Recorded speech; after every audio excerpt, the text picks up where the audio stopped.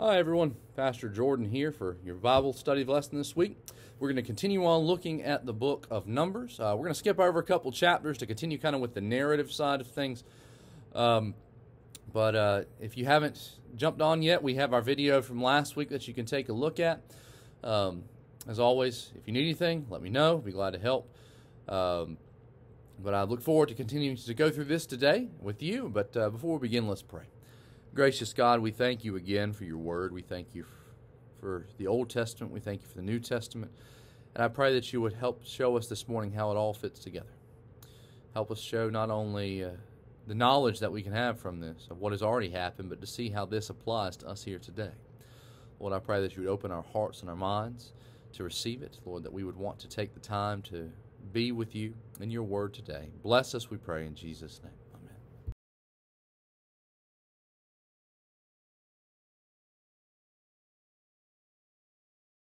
Now we pick up here uh, at a passage that's probably very familiar to many of you that you probably did not even know you knew.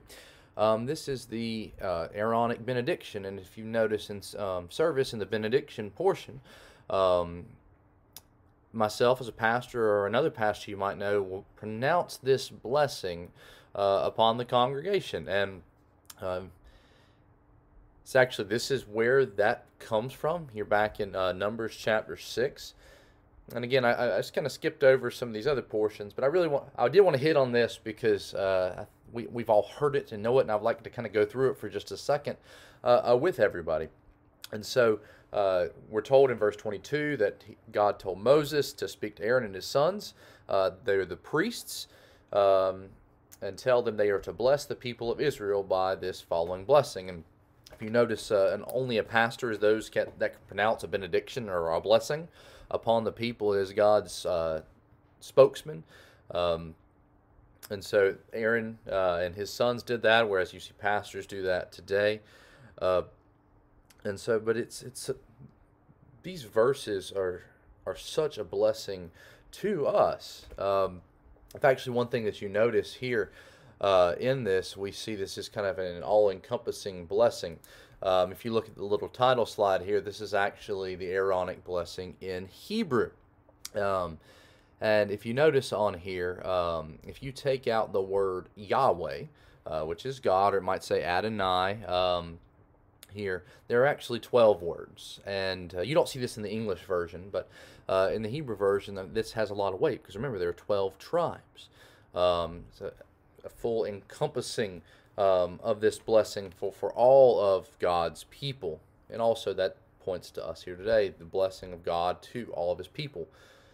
But again, his name is mentioned time and time again. It didn't have to be, but to reiterate that the, the blessings of God are only because of him um, and we can they can be found nowhere else. Um, and so, if you look here with me, then um, I do want to go through this uh, a little bit more in detail than we will for the rest of the lesson. But uh, we first see that God says, you know, "The Lord bless you." Uh, we think of the word blessing. Um, it's kind of an, an overarching term. It's a general term that we uh, use for, for many different things uh, where God gives us children, He gives us uh, family, um, He gives us wealth, He gives us land. Um, and so we see that it's from all these things that come from God. Secondly, uh, we see that God is the one that keeps us. Uh, we think about keeping, keeping safe. Um, the Bible talk, talks about time and time again how He's our strong tower, He's our refuge, He's our strength. Um, he is the one that we can go to um, for protection, and that will keep us in His perfect protection. Doesn't mean that uh, we won't go through difficulties in life, but ultimately, in the end, He has uh, secured our souls. Um, we see how he you know, protect his people, uh, leading them to the promised land, but also to us here today. And then you see that Lord make his face to shine upon you. Now, this is an interesting uh, phrase here. Um, And when, when you see somebody's, you're speaking to somebody, you want to see their face. You want to see that they're paying attention uh, to you, to what is going on. And we see the, the blessing of God that He actually pays attention to us. He's attentive to, to our wants and our needs and all that we've got going on in our life. Um, that personal aspect of our relationship with Him and uh, make His face to shine upon us. You see, kind of, you know, God is light. Um, and so we see that he was graciously shining his light upon us, seeing us, um, answering our prayers, and delivering us. Now, also, uh, right after that, we see that uh, he says, The Lord be gracious to you. Uh, I think this reminds us that we have a forgiving God um, who is slow to anger and deals with us in our sin. Um, he has already forgiven the people of Israel uh, for their uh, debacle with the golden calf and for all their future uh, problems. We see that you know if they repent, God will forgive them, and He deals with them graciously, although He does not have to. And in our own life, we can see the same thing about how God has dealt graciously with us. Um, normally, I save this application portion for the end, but I feel like as we're talking about it, it's helpful here. If you think about Christ, uh, just how gracious God has been towards us as sinners. And we look in uh, how many times that we haven't listened to Him, that we've broken His commands, but yet God is still gracious to us through Christ um, to deliver us from our sin, although we do not deserve it. And so we can see quite clearly that there is a blessing in that. Um, and the last thing here, uh, the second to last thing, excuse me, says that the Lord lift up his countenance upon you. Uh, again, God paying attention to us that He would look approvingly uh, upon our lives, and that from that that we would find His favor. Um, and so here we pray that God would see how we are living our life and that He would help us to act accordingly. Um, we can we see in Scripture where God has turned his face away, that blessing, uh, that loneliness that is felt. Um, so we, we, want God to, uh, to lift up his countenance, uh, his face uh, upon us. And, but we also need to make sure that he's not paying attention to us for the wrong reasons. It's not uh, turning his face against us.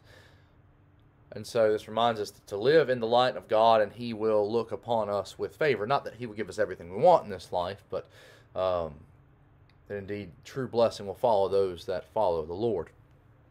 And finally, we see that we pray that in this blessing that God will, will, will give peace. And uh, that word peace is not simply the absence of war, it is shalom, uh, a sense of wholeness that we get from this um, well being, uh, health, prosperity, and ultimately salvation. Uh, you know, and I think this, this last word, peace, kind of sums up the rest of it here. Uh, it shows us that, that all of God's gifts bring about this shalom to his people. And I think that one way we need to, to look at this is often we think of being at peace when we get all that we want, but note we have to look at it in God's light to see how all the ways that God has blessed us reminds us just how cared for that we are. Um, not simply the things that we don't have, but look at, at, what we do have. Look at how God has provided for us uh, in this life. He, how He has blessed us, how He has kept us, how He has made, made His face to shine upon us, how He has been gracious to us, uh, how He has lifted up His countenance upon us, and see how that gives us this peace. But if you notice here, um, after that is over, uh, this last, there's one more verse right after this. It says, So shall they put my name upon the people of Israel, and I will bless them. You know, and God is claiming ownership over his people. And uh, I want to read this. Uh, I normally don't do this, but I think this, this quote hits the nail on the head. It's from Raymond Brown in his, his commentary on Numbers. It says, uh, the benediction's conclusion guarantees that peace. Uh, here is in the last verse. So they will put my name on the Israelites, and I will bless them. To put one's name upon something was to give it the distinctive stamp or mark of ownership. And the Lord has put his name upon the Israelite people as their bountiful giver, as the one that blesses them, as their strong protector, the one that keeps them, as their faithful friend, the one that makes his face to shine upon them, as their forgiving lover, the one that's gracious to them, as their reliable partner, the Lord lifting up his countenance upon them, and as their generous provider, as he gives peace to them, as well as their unique owner. God's people were his treasured possession, and he is resolved to meet their every need. And I think that this is such an encouragement for us when we hear this pronounced, this blessing pronounced upon us on a Sunday after as worship is ending, that this is true of the people that have come to Christ. That God will indeed bless us beyond all that we can imagine, not in worldly means, but in true godly means. And so I hope that uh, as we jumped into that, that that has been uh, helpful for you to understand it, but also to to be thankful for that, that God indeed blesses us in this way. Now, it's worth mentioning here as we begin in chapter 7, uh, in verse, verse 1, we're told that the, the offerings of the leaders, they're given on the day that Moses finished setting up the tabernacle. If you go back to Exodus, um, we're told that he completed that on the first day of the first month of the second year after the people left Egypt. Well, Numbers 1 through 6 take place after that time. And so the events of chapters 1 through 6 occur you know, about a, a full month after what we'll see in verse uh, chapters 7 through 9. And um, that doesn't mean there's anything uh, discreditable, discreditable about that. Um, just sometimes God uses that as far as emphasis. Um, and so, but here in chapter 7, uh, we actually kind of go backwards just a little bit. And so uh, the tabernacle has been set up. And um, we're told here that uh, there's this 12 day festival that's happening. That, that's happening um, here as the tabernacle has been erected. Um, and gifts are being brought uh, to be used uh, in the work at, at, the tabernacle. We can see uh, chapter 7 really hits home on that. Um, as we mentioned last time, uh, if you remember, the Levites are going to be divided up between uh, between Gershon, Merari, and, and Kohath, and uh, we actually see here, if you remember, the different duties. Uh, the wagons uh, for two of those groups and the oxen are brought forward and, and donated and given. Um, there are six wagons, two per tribe, and one ox per tribe to pull those. But if you look in verse 9 of chapter 7, we're reminded that the sons of Kohath he gave none because they were charged with the service of the holy things that had to be carried on the shoulder. Um, and so uh, the chiefs of all the people offered uh, offerings uh, to dedicate the altar. And we're also told that for 12 days they continue to, to offer things. And you have this formula here. Uh, if you look in verse 12, we see on the first day, uh, Nahshon, the son of Amminadab of the tribe of Judah, came and he offered one silver plate, uh, one silver basin, uh, both of each of these full of fine flour mixed with oil for a grain offering, a golden dish full of incense, a bull from the herd, a ram, a male a year, lamb a year old for a burnt offering, a goat for a sin offering, and the sacrifice of peace offerings, two oxen, five rams, five male goats, and five male lambs a year old. And this uh, actually repeats with each tribe the next day um, until you have that uh, for every day. But kind of just, you know, walking through these things that are given. Um, we see the, these fine crafts uh, or wares here. Uh, we see incenses given to be offered uh, in the in the, uh, the tabernacle, as well as a grain offering because that's where the the priests you know got part of their meal. Uh, and then the different sacrifices here, uh, provisions. And so each one of the tribes is coming and bringing forth this portion um, to dedicate to the Lord. And uh, you see that repeat yet again, just to remind that all the people there are on equal footing.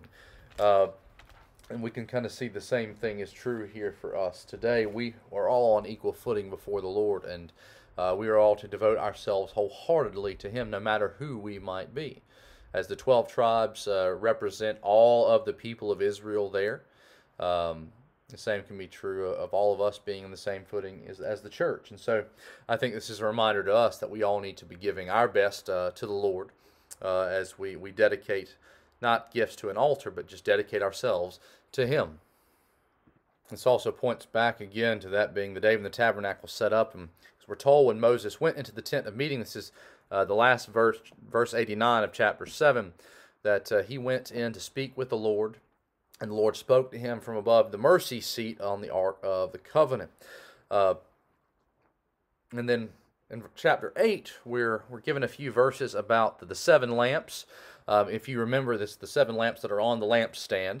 Um, and we're, we're told that they are to give light in front of the lampstand and um, shows how Aaron does that. And the reason for that is if you remember the showbread that was to be made and laid on that table was in front of that lampstand. And so the light, which would you know point to God, uh, would shine forth on those 12 pieces of bread, which represented the people of God, uh, symbolically reminding that the presence of God is, is upon and with the people. Again, the same thing is true with us here today. Um, and we're kind of hitting the same topic as we talked about last week. We see the Levites, remember, they're set aside for God's purposes in chapter 8. Um, and so they are all to be cleansed. Um, and the people uh, are to, to lay hands on them. Sacrifices are to be made, uh, dedicating them to God's service. And um, we're also told at the end of chapter 8, um, as far as the, the Levites and their, their tenure, their duties, um, they are to serve uh, God in, in the temple um, or in the tabernacle for 20, from 25 years old until 50. Um, and after that, uh, they won't serve anymore, but they will minister to their brothers in the tent of meeting by keeping guard, but they shall not do any service. And so God reminds them, reminds us of, of what they are to be doing. Again, we see that this uh, is not in chronological order again, but there's not a big deal with that. Now, as we go into chapter 9, uh, again, we see the not non-chronology here, um, that the first Passover um, is to be, excuse me, the second Passover, first after they had left Egypt, uh, is to be done. And we're told that God spoke uh, to Moses in the first month of the second year, which was probably around April. Um, and he reminds them that the people are to keep the Passover the appointed time. On the 14th day of that month at twilight, uh, they are going to, to keep the Passover at the appointed time. And so they were to to celebrate this uh, for for eight days, and they're to follow the regulations that God has laid out, um, as it says here in verse five of chapter nine. According to all the Lord commanded Moses, so the people did. Now, if you remember, there people had to prepare themselves to be clean for this, but there was a problem. What if somebody had touched a dead body uh, the day that they were supposed to celebrate it? Well, what were they to do? They, they couldn't partake in that because they hadn't gone through the cleansing. And, and so what ends up happening is the Lord tells Moses that uh, if in verse number 10, if any one of you or your descendants is unclean through touching a dead body or is on a long journey, he shall still keep the Passover to the Lord in the second month, not the first month. On the 14th day at twilight, they shall keep it um, in a sense, those same uh, instructions. So if one could not do it on that, that day, then they were to do it one a month later uh, and to observe Passover then.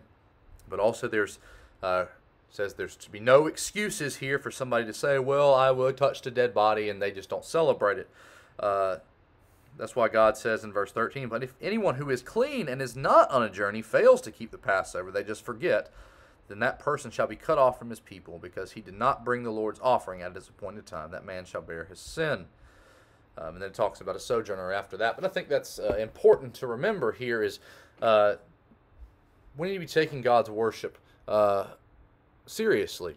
Somebody to, to not to know Passover is a big deal and to just blatantly disregard it when everybody, the rest of the people are celebrating it, or would to be a, a slight against God. And I think that uh, this is a reminder to us that God's worship, uh, day in and day out uh, in our own life, is important, but especially on Sundays as we gather together people of God, we shouldn't neglect it.